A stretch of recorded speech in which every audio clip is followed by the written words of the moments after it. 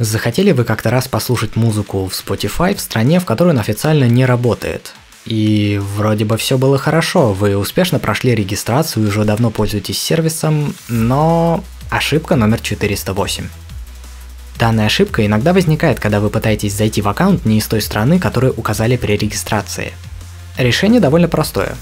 Заходим в аккаунт через сайт spotify.com. Хорошо, что он работает – и смотрим страну регистрации. Ее можно изменить, но это, по крайней мере у большинства, не помогает. Поэтому мы отправляемся искать прокси сервера для страны, которая указана у нас в профиле. Прокси обязательно должен работать на протоколе SOX, любой версии. Просто HTTP и его защищенный собрат блокируют запросы авторизации, и Spotify выдаст ошибку номер 54.